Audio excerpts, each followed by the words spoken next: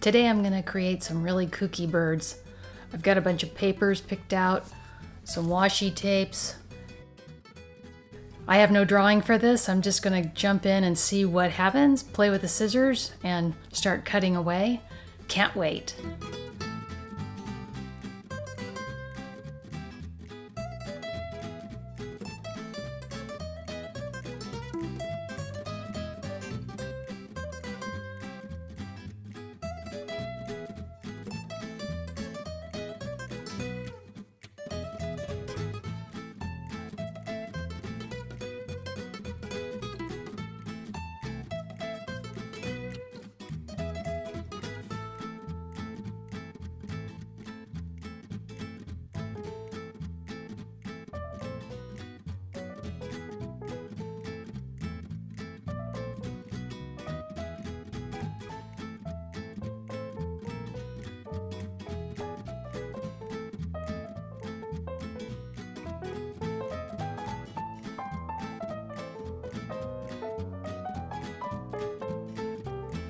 Okay, I've got the paper cut out.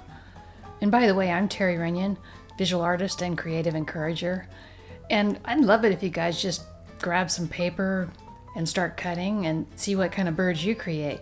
I've got these birds cut out. I'm gonna glue them down now. Very exciting, that part of this video. Then I'm gonna come back in with some details and washi tape. So let's get going.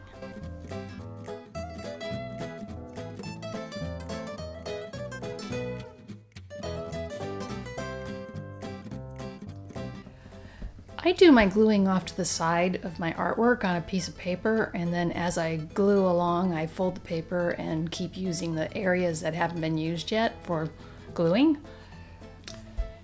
And I also use this Craft Bond glue stick that's permanent and acid free and I haven't had any trouble with it yet, fingers crossed.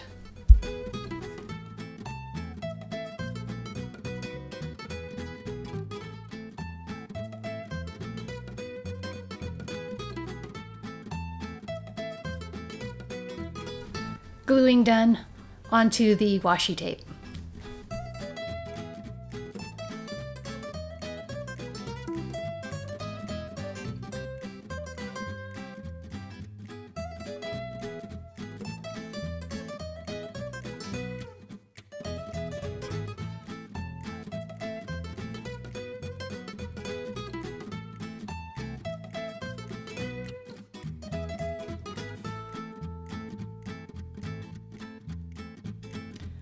And glasses required for cutting.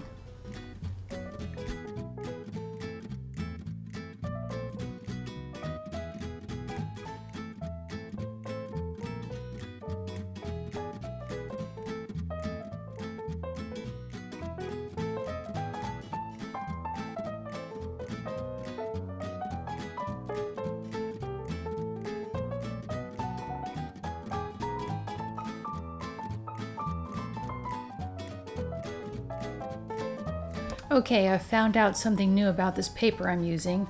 It's the Prima watercolor paper, and it doesn't do well with washi tape, so I do recommend this paper for watercolor. It's a fairly cheap paper, and it's fun to use because it's so absorbent. But yeah, not for washi tapes, FYI.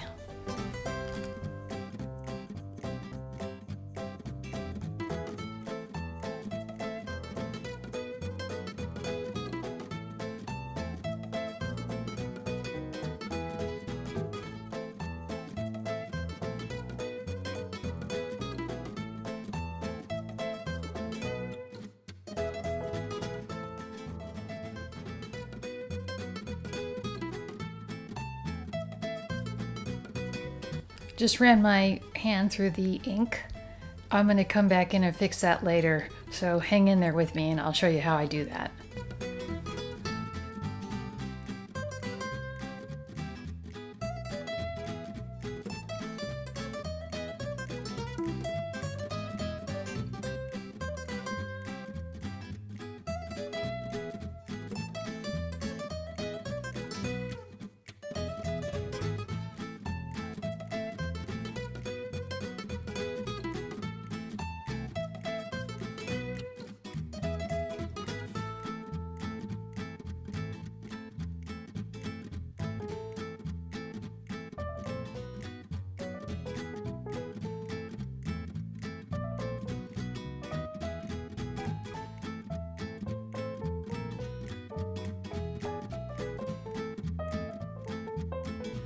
Okay, I'm gonna try to fix this spot here on my foot of this goose looking thing with um, Doc, Dr. Martin's, Dr. P.H. Martin's pen white. So that's what I'm using here.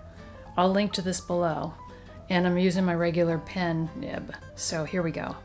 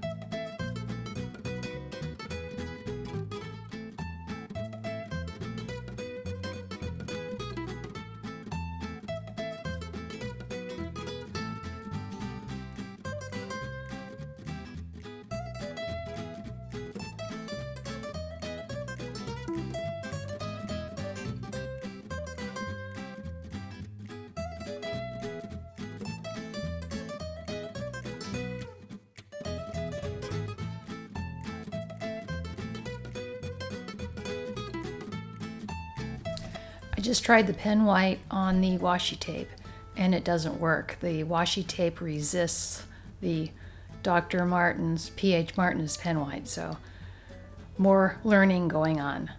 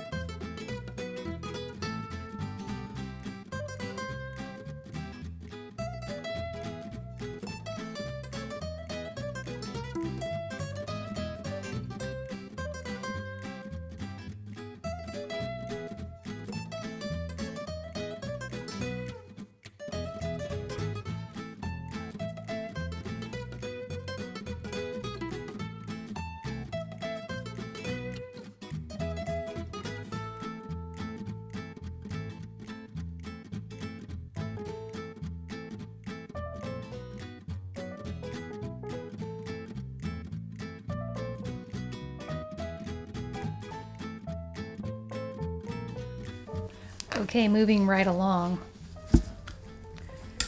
I'm thinking of coming in here with some watercolor. And you know, we get to these points with our artwork where do we add something or not? Do we go ahead and see if we're going to mess it up completely or not? Will this really add enough to make it worth the risk? And I'm just going to do it and see what happens. Wish me luck.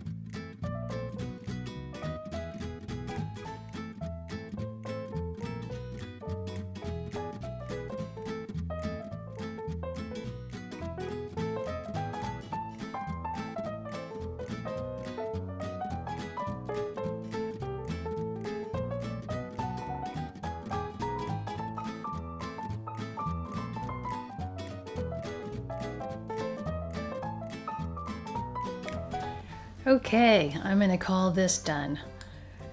There's things I really like about it, and I had a lot of fun doing it. There's also some things I have some inner critic coming up, and I'm ignoring those.